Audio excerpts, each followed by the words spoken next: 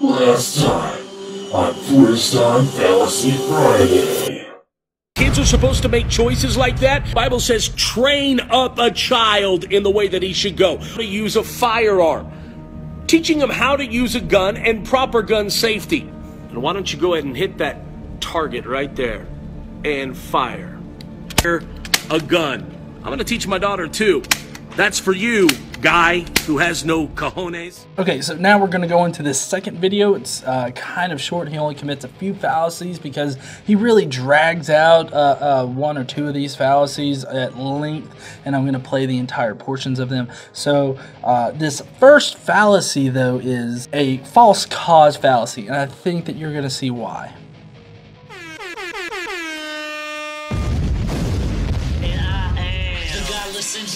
A conscious pioneer, a logic general, a reason brigadier.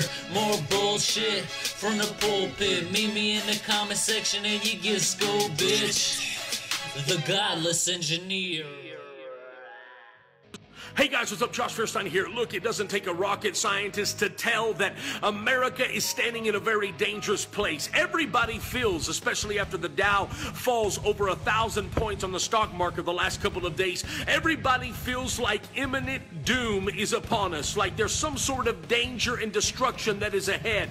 You know, I've heard this phrase a long time God bless America. And everybody's praying it right now because they're scared. But let me show you why God cannot bless America.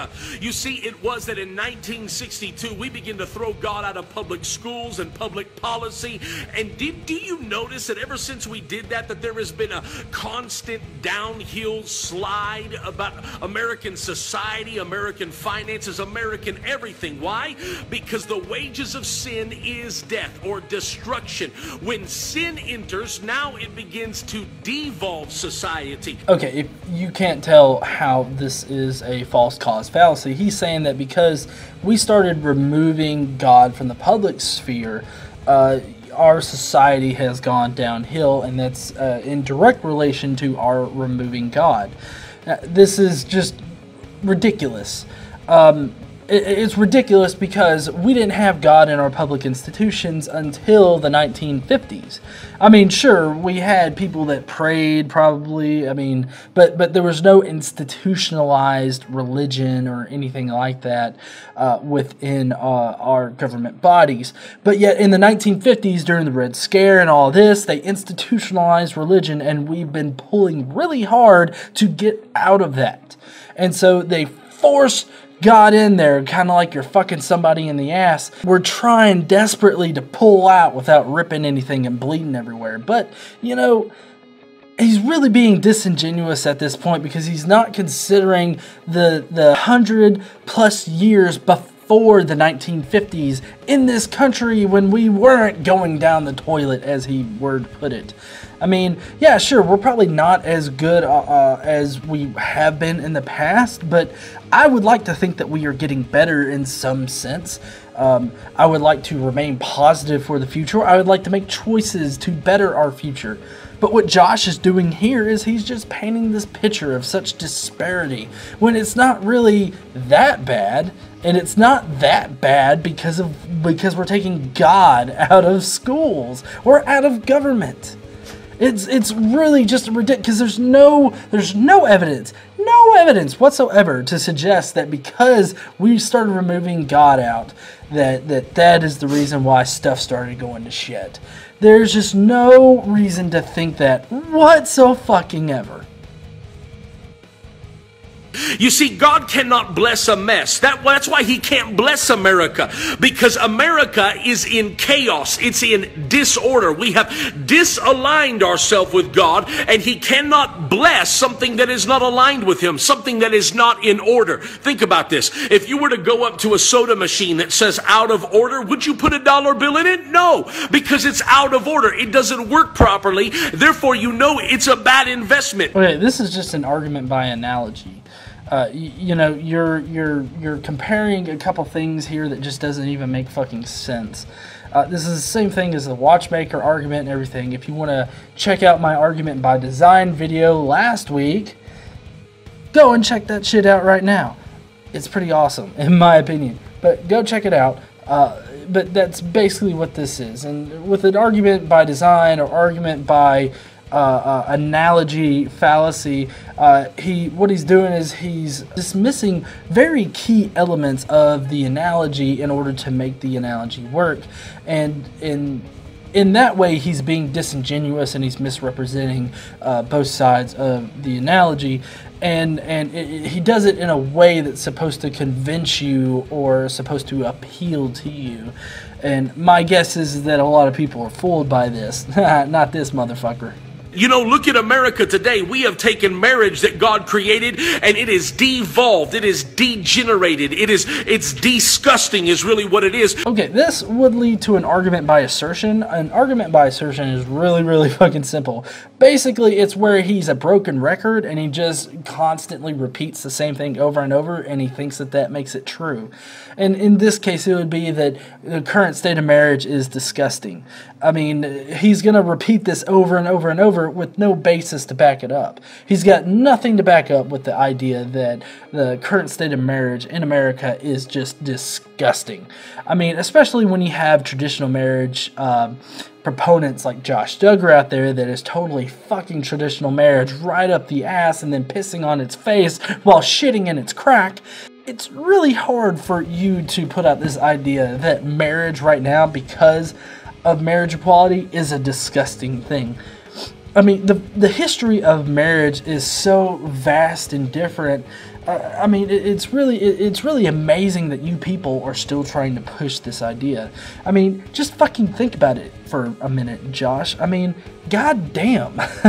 I mean, when marriage first started out, marriage was purely like Genesis. I mean, it was uh, this father figure chose a bride for the son, and then they got married, and then they joined forces, and it was to build stronger armies and stronger relationships with other tribes so that they could survive. It was a survival thing. And that's all it fucking was. And then you move on through time, and, and you know, love doesn't even really come into the picture of marriage until like the 1950s. I mean, until then, love being in a marriage was really kind of an exotic thing. So you're saying that marriage right now is disgusting when in reality marriage has constantly been changing? And for you to say that it's disgusting now because it's changed from what you perceived it to have always been is just patternly fallacious as fuck is that now that we have made marriage something that God never intended for it to be, and when we're out of order, God says, I can't bless you. And now, in fact, going all the way back to the story of Noah, remember Noah? The Bible says he lived in an evil, wicked, and perverse generation where they called evil good and good evil. Notice that we live in a generation that celebrates Michael Sam but curses Tim Tebow. I really want you to think about that because we live in that kind of America. Okay, here's the first straw man fallacy of this particular video. Um, he's saying that Tim Tebow is cursed while we celebrate uh, one of the first pro gay football players. Uh, Tim Tebow isn't exactly cursed by like the entire nation as he's putting it out there to be. It's not like Tim Tebow is regularly, uh, you know, tossed out there as some kind of, uh, you know, sacrifice to society, you know, because he's some uber Christian football player.